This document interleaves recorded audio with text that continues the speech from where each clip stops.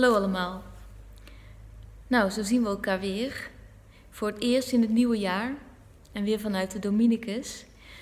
En uh, nou ja, ik ben hier eigenlijk bij hoge uitzondering, want meestal uh, ben ik in deze tijd thuis. En dat zal voor velen van ons zo gelden. En het is uh, best een beetje gek om die overgang naar het nieuwe jaar zo te vieren, terwijl we in lockdown zijn.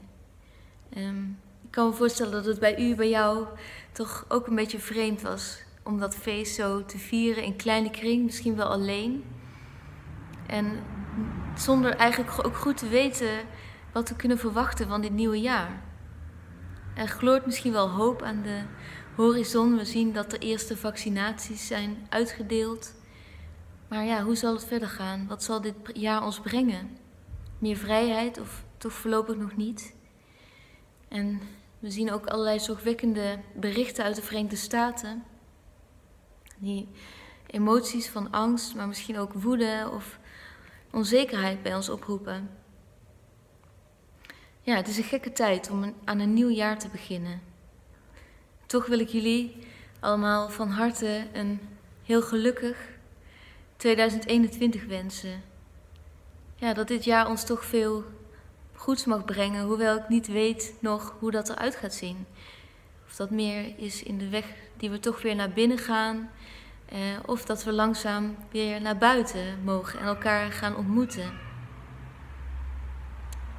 Maar ik wens ons van alle, alle van harte dat, dat het ons mag brengen waar, we, waar onze ziel behoefte aan heeft, waar we op hopen. En uh, ja, wat ons goed zal doen. Ja, en toen ik zo, nu ik zo nadenk over um, ja, hoe we aan dit nieuwe jaar beginnen en wat het betekent om te beginnen aan iets nieuws, terwijl we ja, toch uit een moeilijke tijd komen voor velen. Ik denk dat, nou in ieder geval voor mijzelf geldt dat, dat, ik, um, uh, ja, dat ik dit jaar echt wel als zwaar en moeilijk heb ervaren. Uh, en ik realiseer me dat veel mensen nog in een veel moeilijkere situatie zitten dan ik. Uh, met, met een gezin thuis. Um, ja, ik denk dat, dat mensen die, die alleen leven, mensen die in een verzorgingshuis of in een ziekenhuis zijn en weinig bezoek mogen ontvangen, uh, mensen die ziek zijn. Nou, er gaat veel leed, denk ik, schuil in, in onze levens op dit moment. En het is niet makkelijk geweest het afgelopen jaar. En dan te beginnen aan iets nieuws. Misschien langzaam. Hoe dat nieuwe eruit gaat zien, dat weten we nog niet. Maar doet denk ik een beroep op, sowieso deze tijd denk ik, doet een beroep op onze veerkracht. En uh, ja, ik ben de laatste tijd veel uh, bezig met, met dat thema. En ik heb veel nagedacht over wat dat is en hoe uh, je erover beschikt. En ik denk dat het net zoals voor veel dingen in het leven geldt dat veerkracht niet helemaal eerlijk is verdeeld. Sommige mensen kunnen het makkelijk vinden en anderen wat moeilijker. Maar soms is het ook op onverwachte plaatsen ineens te vinden. En bij mensen waar je dat misschien ook niet zo snel verwacht. Mensen die uh, nou, het niet van nature hebben, kunnen toch ineens van een grote veerkracht blijken uh, te getuigen. En ik dacht aan de momenten in mijn leven waarop ik uh, nou, veerkracht heb gezien of ervaren. Ehm, en dat leek me mooi om eigenlijk aan het begin van het jaar daar eens bij stil te staan. En daarom, ik wil je, graag u, jou uitnodigen om ook eens na te denken over veerkracht in jouw leven. Waar heb je dat ervaren en uh, waar heb je het gezien? Heeft het je wel eens aangeraakt of uh, ben je er wel eens door verrast? En ik wilde iets vertellen over een moment in mijn leven waarop ik veerkracht uh, heb ontdekt bij mezelf. Um, en uh, dat, dat gaat eigenlijk al terug naar mijn kindertijd. Toen ik tien jaar was, toen um, ging mijn vader dood. En hoewel dat niet echt een heel onverwacht, uh, heel onverwachte gebeurtenis was, want hij was ziek, kwam dat voor mij wel heel onverwacht. Ik had dat niet zien aankomen en ehm, nou, dat was best wel een schok voor mij. En na zijn, zijn dood, ik, ik had gelukkig wel lieve mensen om me heen en goede vrienden die uh, lief voor mij waren. Maar toch uh, kampte ik in die tijd met veel angst. Ik durfde bijvoorbeeld niet alleen te slapen. En ik was bang voor allerlei nieuwe dingen die ik moest doen. Ik durfde niet zo goed. Um, ik kon heel verlegen zijn op school. Ik durfde mezelf niet zo goed te laten zien. Dat heeft best wel even geduurd. En uh, ondanks dat ik eigenlijk wel gesteund werd en, en lieve vrienden had om me heen, um, ja, bleef ik maar met die angst uh, rondlopen. En uh, nou, het, het, was eigenlijk meer, min of meer toevallig dat ik na, dat, na, na jaren dat ik eigenlijk met gedachten rondliep, dat ik um, op toneelles ging.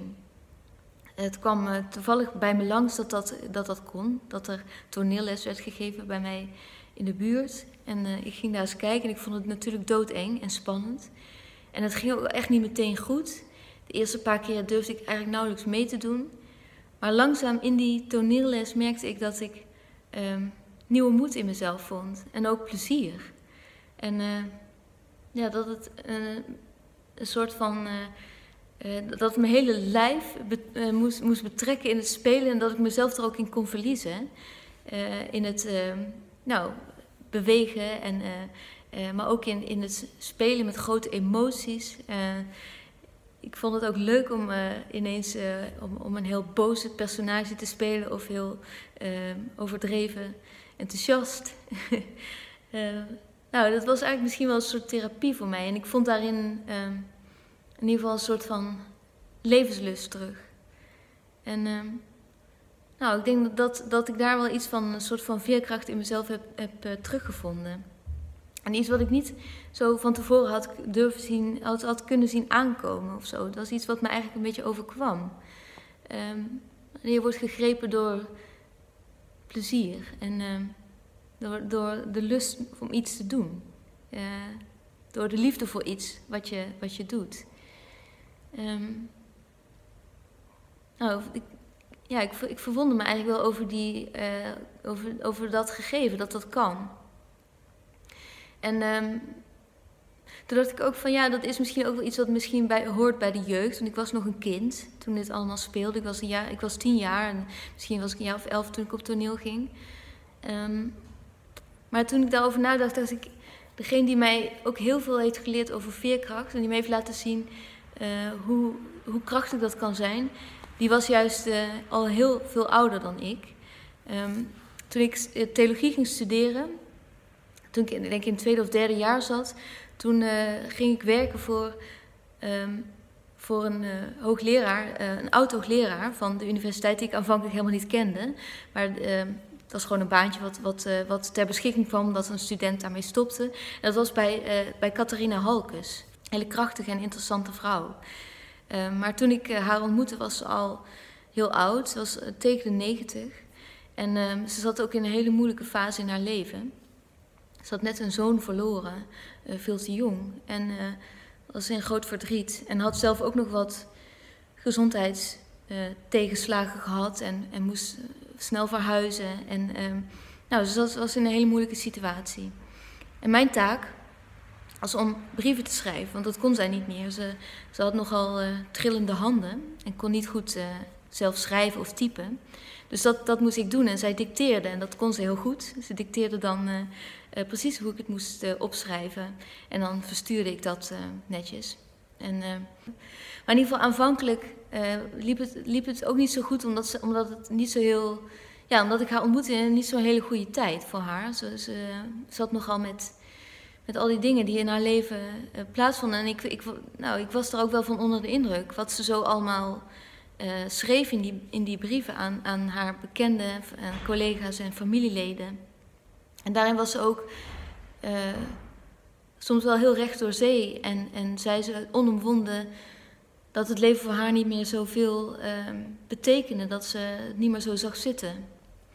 En nou, ik als jonge student ehm, nou, ik schrok er ook wel van en ik vond dat uh, wel, ja, ik vond dat niet niks om dat zo uh, te horen van iemand. En ik, soms ging ik ook een beetje met lood in mijn schoenen naar haar toe.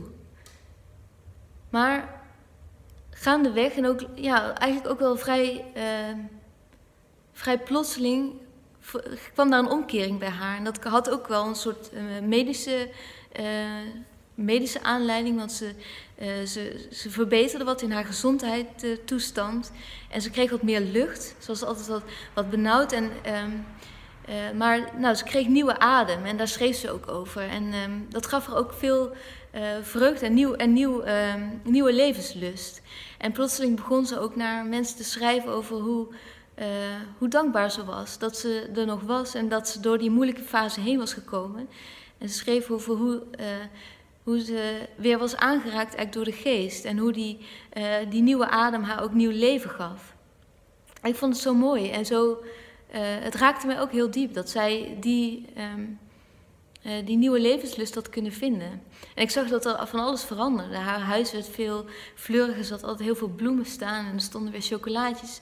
En nou, ik zag dat ze weer van het leven genoot. En nou, ik vond het zo bijzonder om dat mee te maken. Dat iemand in, op die leeftijd nog um, ja, opnieuw zo'n levenslust in zichzelf kan, kon vinden. En zo'n dankbaarheid en vreugde in het leven. Uh, dat heeft me nooit losgelaten. En uh, ik vond, nou, als ik een, een, levensles van Tina Halks heb geleerd, er zijn er vele, denk ik, die ik van haar uh, heb geleerd. En, en die blijven er vast ook komen, want ze, is een hele, ze heeft ook een heel nou, rijk um, uh, werk en gedachtegoed achtergelaten, waar we nog veel mee moeten en kunnen, denk ik. Maar nou, in mijn persoonlijk leven en in ontmoeting met haar is dat toch wel een heel belangrijke. En is zij een heel belangrijk voorbeeld geweest in die veerkracht die zij liet zien. En hoe ze daarover sprak en schreef. Hoe ze dat in verband bracht met de geest die haar die had aangeraakt. En, die, en hoe zij ook een nieuwe, adem kreeg en dat ervoer als ook nieuw leven.